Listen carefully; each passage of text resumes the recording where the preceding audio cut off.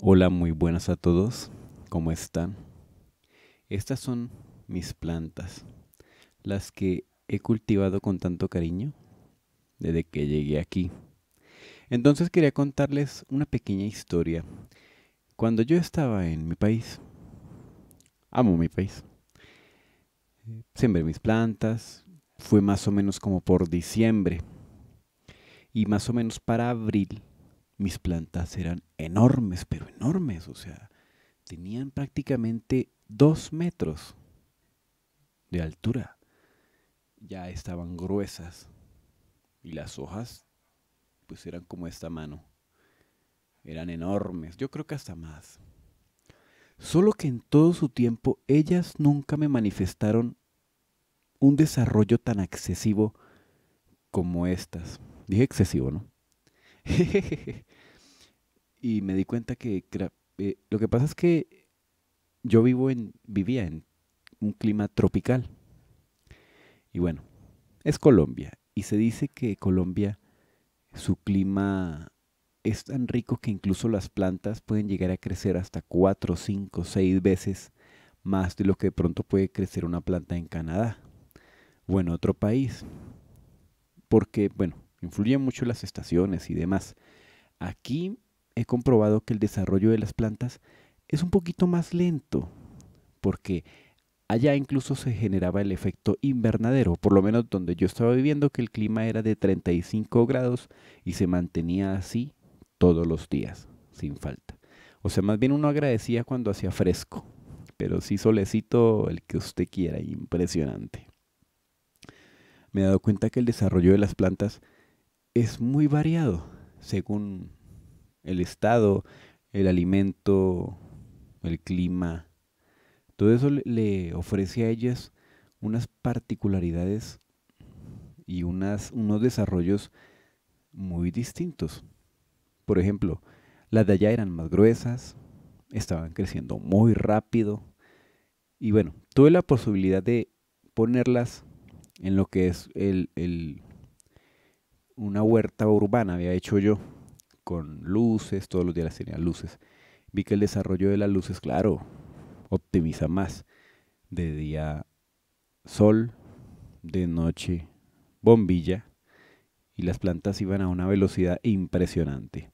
Aquí han tenido solamente la luz del sol, pero las otras plantas que tuve, que llevaban prácticamente 3-4 meses, nunca me manifestaron lo que es eh, la flor, como si ya fueran a empezar a dar el fruto.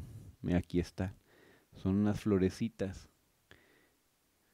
Y empiezan a, dar como florecitas por todo lado, lo cual esas otras plantas nunca me dieron. Y pues que pesar que nunca...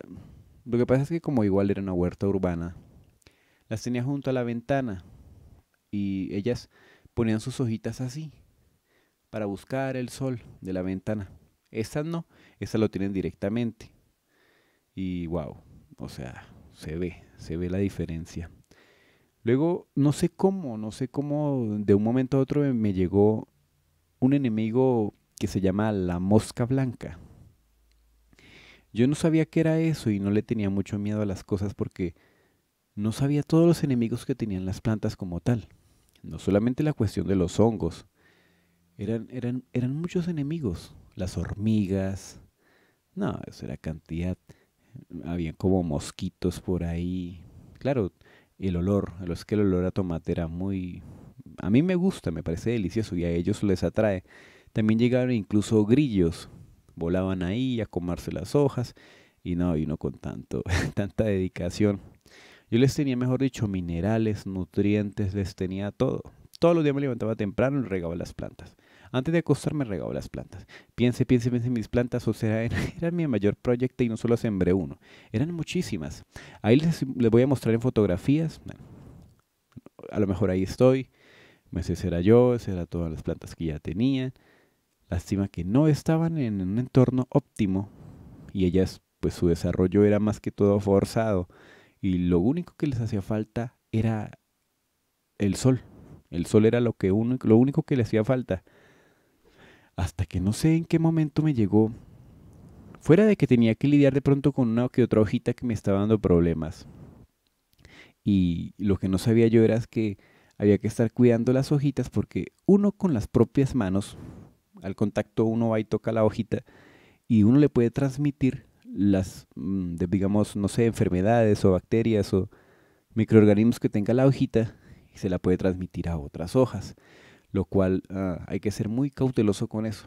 De pronto utilizar guantes o, o sea, uno debe tener las plantas, las debe tener con cariño y cogerlas con la mano y que le tuviera uno asco, ¿no? Pero más que todo por cuestión de higiene ni para transmitirle a ellas. De pronto uno quiera cortar una hojita que uno ve que está como mal, lo hace. Va y se lava las manos y si va a tocar otra hoja, vuelve y lo hace, pero así. Entonces llegó ese enemigo que les digo que es la mosca blanca. No sé cómo fue que llegó. No, no me di cuenta porque como ellas no se posicionan en la parte de arriba, ellas se empezaron a meter en la parte de abajo. Y claro, se me empezaron a reproducir. Y pues el tiempo pasó. Y cuando yo me daba cuenta era que de pronto yo corría las hojas así para, no sé, regarlas o algo y veía que salían así volando. Y yo, miércoles, ¿esto qué es? Y claro, me puse a revisar por debajo las hojas y ya tenía la mosca blanca. Y yo, caramba. Y entonces empecé a hacer de todo. Empecé a tomar un sprite que llaman, o atomizador. Esos, esos cositos que usan para, para como tal, eh, regar el agua, ¿no? En, versiones moderadas, para, para, así, de manera uniforme por todo, por todo el campo. Como cuando en la peluquería, que le echan en el cabello, no sé cómo se llaman. Allá la conozco como atomizador. Bueno. Y empecé incluso, me levantaba en las mañanas y hacía preparativos con limón, con ajo y nada. Incluso un día me tomé la molestia, pero es que eran muchas plantas las que yo tenía. Y yo no sé por qué la proliferación o es que era, es que era impresionante, o sea, yo no sé en qué momento se me llegaron a se me reprodujeron, pero fue una cosa rápida. Y no, no fueron sino días, dos, tres días, y ya, ya, ya, ya estaba inundado, estaba impestado de, de esas cosas. Y claro, incluso un día me tomé la molestia, porque pues yo le digo que les diría un cariño muy especial a mis plantas, y cogía hoja por hoja, y hoja por hoja le echaba a veces lo que les decía, limón, o si no, ajo, a veces hacía ají, todo, todo tipo de, de, sustancias que fueran, uh, como les dirán, como irritantes para ellas. Y dicen, dicen que de pronto la cebolla, uno pone la cebolla, la licúa y, y la pone en ese líquido, eso las quema a ellas. Hice todo, uh, mira tutoriales y demás y nada. Miré por ahí un tutorial que decía que incluso con jabón, y había un jabón que se llama un jabón potásico, ese no lo conseguí, pero yo estaba tan desesperado que empecé incluso a echarle jabón del normal y me tomé la molestia de hacerle hoja por hoja con jabón no normal y prácticamente las estaba lastimando. A ella les hace mucho daño el jabón normal. O sea, si acaso intenten con el potásico, que por el hecho de que de pronto no les hace daño y que fuera eso, no sé, no sé qué, qué particularidad tendrá, pero igual cae como nutriente a la tierra. Entonces, ese bicho no lo pude erradicar por más que pude. Hay que estarles poniendo cuidado.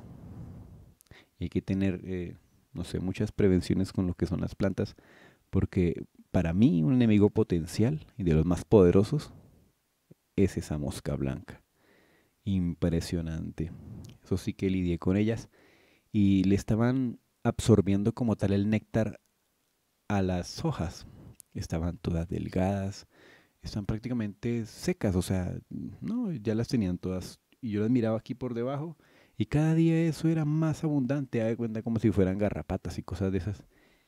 Y hice de todo. Hasta les puse un ventilador para que no, y eso se, aferran a la hoja, no se despegan. Y así usted le haga hoja por hoja, ellas no sé cómo hacen, pero se devuelven, ta, ta, y tú ponen huevos, larvas y demás, y es un ciclo complicado. Yo digo que hay que estarles poniendo cuidado desde ya, no dejarlas descuidadas, mirando por debajo, si vemos que se asoma algo de eso, hay que inmediatamente erradicar. Pero mi consejo es que no se pongan a hacer tantas cosas que vean por internet. No sé, que lo que le dije, el ajo, la cebolla. Bueno, puede que lo puedan intentar. Puede que sirva como pesticida, no sé. Pero es mejor que compren directamente. Bueno, es que no sé cómo le llaman en las tiendas donde venden plantas y demás. No sé si en un vivero también lo consigan. Pero ellos tienen un líquido preparado, no sé cómo lo harán. Pero es más eficiente ese. Yo me di cuenta que ese líquido existía pero me di cuenta muy tarde, ya cuando las plantas estaban en un nivel, no, catastrófico, mejor dicho, ya, ya no podían resistir en nada. Entonces ya era demasiado tarde. Mi consejo es que estén mirando sus plantas, las revisen de vez en cuando, mirar debajo de las hojitas y demás. Aquí no me ha pasado eso ni la he visto, ni espero verla. Pero de pronto la incidencia del clima de allá, que era tropical. Incluso, ¿cómo sería el, el clima de tropical? que hay la famosa cucaracha americana. Aquí no hay cucaracha americana. No he visto. Aquí hay otro tipo de cucarachas, pero en mi casa, gracias a Dios, no están. No he visto ni una, o sea, unas cositas así pequeñas que le llaman, no sé, rastas juanes, algo así. Le llaman aquí en México, no sé cómo se llaman, que rastas. algo con juanes, no sé. Yo llamo los juanchos. Pero nada, eso aquí no hay. por lo que le digo, por el clima. Aquí el clima es más o menos fresco. Y lo que sí me sorprende es el, tipo de desarrollo que tiene la planta, ¿no? Según el entorno. Y pues es que desde que la planta esté fuerte, incluso desarrolla unos pelos que incluso pueden dispersar los enemigos, una que otra mosquita y demás. Y claro, cuando esa mosca blanca se da cuenta que la hojita de la planta está muy vulnerable, ella se pega y le da y le da y le da. La planta por sí sola puede que incluso libere sustancias que, dispersen y alejen como tal todos los, los, agentes externos, ¿no? los enemigos y demás. Pero bueno, esa es mi historia muchachos. A ponerles cuidado porque las plantas son muy delicadas. Y pues lastimosamente yo perdí todo ese proceso que llevaba. O sea, eran días y días y días y nutrientes y cosas y dele y dele. bueno, estas las llevo más con calma.